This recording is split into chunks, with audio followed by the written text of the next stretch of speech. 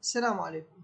هذا الفيديو راح نتكلم عن فكرة مشروع ممكن إنه تستخدم به الذكاء الاصطناعي واللي هو استخدام الأشعة تحت الحمراء لقياس مستوى السكر في جسم الإنسان. لنفترض أن هنالك طبيب معين في مستشفى أراد أنه يقوم بعمل جهاز يقيس مستوى السكر للإنسان بدون ألم. بدون الحاجة لأخذ الدم من الجسم. فهذا الطبيب يتكلم مع مهندس كهرباء لأجل القيام بعمل هذا الجهاز.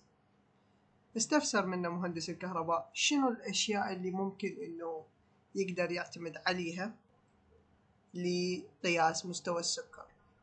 يعني أكو أمور معينة نقدر نستخدمها كإشارة لمقدار السكر بالدم. فالطبيب قال له بأنه الأشعة تحت الحمراء ممكن تستخدمها لتمييز مقدار السكر بالدم. بالخصوص الأشعة اللي تكون طول الموج الخاص بها هو 940 نانومتر. هذه الأشعة المميز بها هي أنه من آه، تدخل جسم الإنسان تخترق جسم الإنسان وتخرج منه ما تضمحل بشكل كامل يعني يبقى جزء من يمها يطلع من جسم الإنسان. على سبيل المثال الأصبع هذا الأصبع من يتعرض لهذه الأشعة تحت الحمراء بطول موجة 940 نانومتر. راح آه، يجي للسطح مال الأصبع يدخل داخل الأصبع ويخرج منه لكن بكمية أقل. بس ما يضمحل. فنقدر نستخدمه من خلال المقارنة ما بين قيمته بعد الخروج من الجسم وقيمته قبل الخروج من الجسم. الشغلة الثانية إحنا قلنا إنه هذه الأشعة تحت الحمراء بهذا الطول الموجي ما تستهلك بشكل كامل لكن شنو الشيء اللي يستهلكها؟ شنو الشيء اللي ياخذ جزء من يمها؟ طبعا مو يستهلكها بشكل كامل لكن ياخذ جزء من يمها.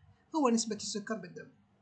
نسبة السكر بالدم كل ما زادت كل ما تم استهلاك جزء أكثر جزء أكبر من الأشعة المدخلة أو الداخل للجسم فنقدر نقول بأنه كل ما زادت نسبة السكر كل ما قلت الأشعة الخارجة لكن طبعا ما تنعدم 100% وإنما تقل. وكذلك وجدوا بأن هنالك علاقة ممكن من خلالها نعرف شدة الضوء أو التركيز الأشعة تحت الحمراء الخارجة من الجسم بعد مرور خلال الجسم. وهذه هي العلاقة. تركيز الأشعة تحت الحمراء بعد الخروج من الجسم تساوي التركيز الابتدائي للأشعة تحت الحمراء واللي هو هذا قبل الدخول للجسم من مصدر الضوء أو من مصدر الأشعة تحت الحمراء. مضروب في exponential مرفوع للقوة ناقص mu effective L. ال mu effective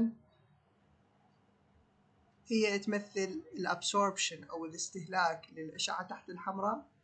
داخل الجسم أو أثناء مرورها بالجسم. ال هو الطول اللي طول المسار اللي يمر به الأشعة تحت الحمراء. مثلا من هذه النقطة إلى هذه النقطة. فأكو مسار أرض. هذا كل ما زاد مثلا المسار كل ما أيضا أدى إلى استهلاك آه، أكثر للأشعة تحت الحمراء المدخلة للجسم. فكل ما صار المسار أطول كل ما كان استهلاك أكثر كل ما قل المخرج من الجسم مخرج الأشعة الحمراء من الجسم. فعلى سبيل المثال أنه المسار اللي راح يمر به الأشعة تحت الحمراء من الأصبع من جهة الأعلى والجهة السفلى هو مسار ثابت نقدر نقول هذا ال D راح يكون ثابت. أو ال L راح يكون ثابت. فإحنا تركيزنا على ال absorption واللي هو استهلاك الشيء اللي يستهلك الجزء اللي يستهلك من الشعرات الحمراء بالجسم. راح نفترض إنه هو هذا نقدر نقول تأثير السكر كمية استهلاك السكر للأشعة تحت الحمراء بالجسم. هذا نقدر نعتمده كإشارة على كمية السكر. طبعا هو بي أكثر من شغلة على سبيل المثال أكو التشتت. ظاهرة التشتت هي أنه الضوء يأخذ مسارات ثانية داخل الجسم مو نفس ال المسار الأصلي. فهذا راح نهمله آه، فالمهم نقدر نطلع كمية الجلوكوز من خلال هذا الجزء اللي هنا من خلال معرفته. يقدر يعطينا إشارة. طبعا هنا آه، أيضا راح نخلي متحسس أو مستشعر لكمية الأشعة تحت الحمراء. طبعا هذا مصدر الأشعة تحت الحمراء. هذا متحسس للأشعة تحت الحمراء. أه تيجي تدخل الأشعة تحت الحمراء ويعطيك فولتس قياس فولتية هاي مقدار الفولتية اللي راح أه توصل لك.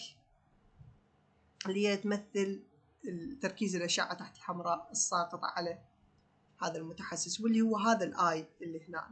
فأنت عندك هذه المعادلة تقدر تستخدمها. لإيجاد مقدار السكر بالدم طبعا هنا هذه العملية تقدر تستخدم بها ال oximeter ال oximeter يحوي على ال transmitter أو مصدر الأشعة تحت الحمراء والرسيفر أو مستلم الأشعة تحت الحمراء. وبين المستلم والمرسل راح تخلي مثلا أصبع. وعلى أساس راح تحصل مقدار فولتس معين فولتية معينة تمثل concentration المستلم للأشعة تحت الحمراء. تنقلها لل Arduino. ال Arduino راح يحاول إنه يستخدم هذه المعادلة لأجل إيجاد نسبة السكر بالدم وعرضها على شاشة ال الفكرة هنا أنه شلون تستخدم الذكاء الاصطناعي بهذا الجزء؟ أكو شيء اسمه المعايرة. أنت هنا من استخدمت هذه المعادلة افترضت أنه هي معادلة مثالية. أو هملت شغلة تشتت الضوء إلى آخره أو تشتت الأشعة الحمراء بالجسم وفرضت أنه فقط هذه الاستهلاك اللي جاي يصير بالجسم فقط له علاقة بالجلوكوز أو نسبة السكر بالدم. فتقدر على سبيل المثال إنه شو تسوي؟ تقرأ الآي تقرأ التركيز الضوء الساقط على الرسيفر. لأكثر من شخص تسوي أكثر من قراءة. I1 I2 زين. إلى مثلا IN ويا كل قراءة لتركيز الضوء تقدر إنه تطلع القيمة الفعلية لكمية السكر بالدم. من خلال استخدام الجهاز التقليدي اللي هو يأخذ عينة من الدم. فعلى سبيل المثال هذا مية. نسبة السكر أو هنا تسعين إلى آخره. فاللي صار عندك هنا هو إنه آه، صارت عندك مجموعة بيانات عينات. عندك هذني هن ال features المدخلة. ال features وهذني هن ال targets لأن أنت تريد تحاول تخلي الجهاز اللي اللي يعتمد على الأشعة تحت الحمراء القيم اللي يخرجها مشابهة للقيم اللي يخرجها الجهاز اللي يعتمد على الدم استخراج الدم من الجسم جهاز قياس السكر استنادا إلى الدم. فبهذه الحالة اللي راح تسويه هنا راح تقوم بعمل موديل نموذج. على سبيل المثال وللسهولة راح نستخدم ال random forest ال RF هذا ال RF من مميزاته هو إنه ما يحتاج إنه تعالج البيانات بشكل كبير. ما يحتاج تسوي normalization ما يحتاج تسوي إلى آخره من الأمور. تقدر تدرب هذه الخوارزمية بحيث أنه من تستقبل ال I 1 تقوم بإخراج مثلا 100 تستقبل ال I 2 تقوم باستخراج 90 فهنا أنت وكأنه هملت هذه المعادلة واستخدمت ال random forest بديل لإيجاد المعادلة الحقيقية المطلوبة. اللي نقدر نعممها على كل الأشخاص واللي تأخذ بنظر الاعتبار كثير من العوامل اللي هملناها.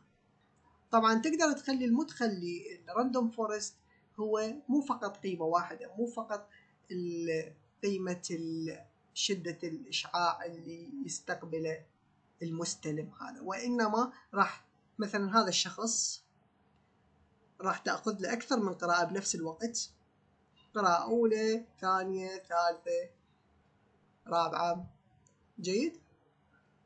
فعلى مود تكون التنبؤ مالتك بالقيمة أكثر دقة لأنه أكو هواي features تقدر ال random forest إنه تستفيد منها لإيجاد القيمة الفعلية للجلوكوز بالدم. فال random forest راح تستقبل أكثر من number أكثر من feature أكثر من قراءة للشخص. بنفس الوقت يعني هاي القراءة الحالية أخذنا أربع عينات أو أربع قراءات لل infrared ray concentration للشخص اللي هن بنفس الوقت بالوقت الحالي وتحاول إنه يقوم بإخراج قيمة الجلوكوز الفعلية لهذا الشخص اللي تكون مشابهة لقيمة الجلوكوز المستخرجة لهذا الشخص باستخدام جهاز الجلوكوز التقليدي جهاز قياس الجلوكوز التقليدي. فهذه أحد الأفكار اللي ممكن تستخدم بها الذكاء الاصطناعي طبعا أكو شغلة معينة أكو لأجل معرفة كفاءة ال random forest هنا. فأكو طريقة أكو plot معين. هذا ال plot مستخدم من قبل المستشفيات لأجل قياس مدى كفاءة جهاز قياس الجلوكوز بالدم واللي هو ال Clarke grid وهذه هي ال Clarke grid ال Clarke grid بالتفصيل هي عبارة عن مناطق. أو plot graph مقسم إلى مناطق. منطقة E C B A B D E C.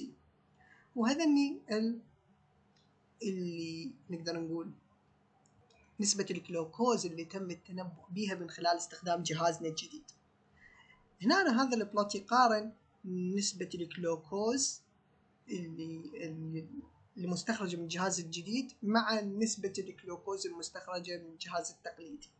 فيجي يحاول إنه يلقى الدفرنس الفرق فإذا كان الفرق ما بين القراءتين كبير فراح يخليه بالدي أو الاي أو السي أو البي نقدر لا ال D وال C وال E هذني راح يكون ال difference كلش كبير. بينما إذا كان أغلب القراءات الخاص بالجهاز مالتنا ال difference مالتها قليل قريبة جدا من التنبؤات أو القراءات الخاصة بالجهاز الجلوكوز التقليدي فراح يكون ضمن منطقة ال A أو ال B أيضا مسموح بها. ال A يعني معناها ال difference أو الفرق يكون ما بين العشرين بالمية أو أقل من عشرين بالمية من صفر لعشرين بالمية. بينما ال difference أو الفرق يكون أكبر بال B لكن مقبول طبيا. الباقيات غير مقبولات.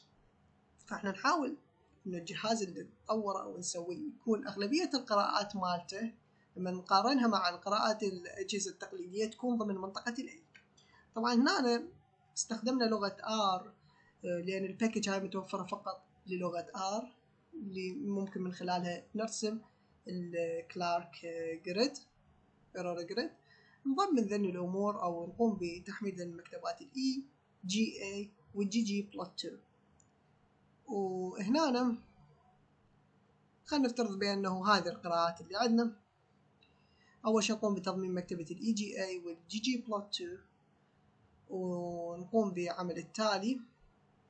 هذا مو ضروري نقدر نوخره. آه نقوم بعمل بياناتنا. مثلا هذا ال reference شنو ال reference إن القراءات المستخرجة من الأجهزة التقليدية. فعلى سبيل المثال شخص انت قريت له مستوى السكر الخاص به طلع 90 زين؟ وهذا الشخص نفسه وبنفس الوقت القراءة اللي حصلتها من الجهاز اللي طورته يعني من خلال من ال random forest مثلا تنبؤ ال random forest هو 92 زين بنفس الحالة. بنفس الوقت هاي تم استخراجه نفس الشيء هنا نفس الشيء هنا. فراح تمرر أول شيء شنو؟ ال reference اللي هو قراءات الجهاز الكلاسيكي التقليدي ثاني شيء التنبؤات الخاصة بال random forest. وتقوم بعرض النتائج. باقي الأمور غير ضرورية. ف هذه النتائج. مثل ما تلاحظون هذا المناطق. كل التنبؤات تكون ضمن منطقة العشرين بالمية. يعني الفرق يكون ضمن العشرين بالمية ما بين القيم الخاصة بالجهاز الكلاسيكي التقليدي اللي نقدر نقول هو accurate دقيق والقيم الخاصة بالجهاز مالتنا فهذا تقدر تقول عنه شيء جيد. فإحنا نحاول شنو؟ نحاول إنه دائما القيم تكون متقاربة.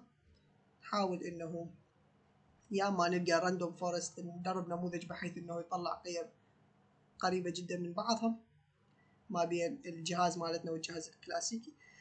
فعلى هالأساس راح نقدر نقول بأنه هذا الجهاز اللي طورناه جهاز عملي.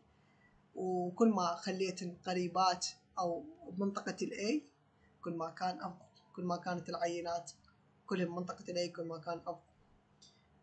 فهذه هي الفكرة.